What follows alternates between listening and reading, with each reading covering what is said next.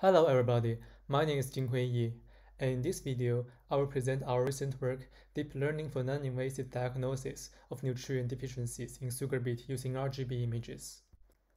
An early, non-invasive and on-site detection of nutrient deficiencies is crucial to enable appropriate nutrient control and to increase yield potential. However, previous technology for this task are time-consuming or do not offer satisfactory accuracy. For this purpose, we introduce a high-quality RGB images dataset of sugar beets and propose to develop a deep learning-based method to diagnose their nutrient deficiencies. We collected these RGB images with a smartphone camera in a sugar beet field with nutrient deficiency plots. And here are some examples from the dataset. We annotated the images with seven labels, as listed here. As you can see, we focus on the plant level images. For nutrient deficiency and disease detection in crops like tomato, the symptoms are easily observed in the leaves. However, local patterns are usually recognized as nitrogen deficiency, as it is prevalent in many agricultural systems. We argue that the global context in plants, instead of the local symptom in a single leaf, are essential for better classification results. Besides, symptoms of nutrient deficiencies visible to human eyes often appear when plants are already severely damaged. We need a better way to recognize them earlier.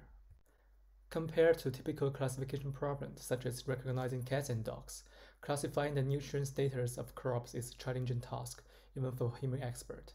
For example, the first row shows a low interclass visual variation, while the second row shows a high intraclass visual variation.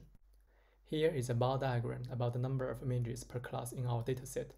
There are 7 treatments and more than 5,000 images in total. To evaluate how accurate RGB image-based nutrient deficiency detection can be, we analyzed and compared five network architectures, including AlexNet, VGG, ResNet, DenseNet, and SqueezeNet.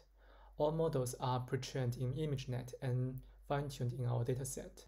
As we can see, DenseNet outperform other methods in terms of accuracy by a large margin, and all methods are able to predict nutrient deficiency with promising accuracy based on plant-level images. We further highlight the saliency regions in the original image. It's obvious that ResNet and DenseNet focus on large patches containing older leaves, while other three models only focus on local areas.